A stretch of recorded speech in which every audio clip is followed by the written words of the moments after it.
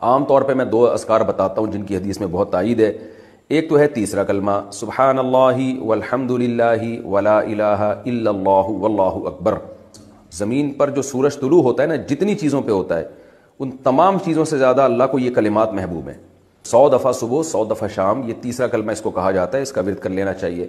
یا لا الہ الا اللہ وحدہ لا شریک لہ لہ الملک و لہ الحمد، وہو علا کل شیء قدیر۔ حدیث میں آتا ہے، جس نے سو دفعہ یہ کلمات پڑھ لے تو اسے بنی اسماعیل کے غلام آزاد کرنے کا ثواب ملے گا۔ اور اس سے زیادہ کوئی شخص نیکیاں کما ہی نہیں سکتا اس دن۔ ہاں وہ کما سکتا ہے جو اس سے بھی زیادہ مرتبہ پڑھ لے ان کلمات کو۔ تو یہ بھی بہت زیادہ فضیلت والے کلمات ہیں۔ تو ان میں سے کوئی بھی آپ منتخب کر لیں جس سے آپ کو مناسبت ہو۔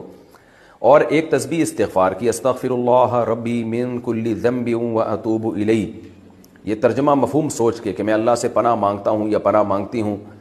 اور میں اللہ کی طرف رجوع کرتا ہوں یا کرتی ہوں، ان تمام گناہوں سے جو میں نے کیے تو یہ یہ بھی اور ایک تصویر درو شریف کی پڑھنی چاہیے، جو نماز میں ہم پڑھتے ہیں، یا یہ کہ مختصر کر لیں۔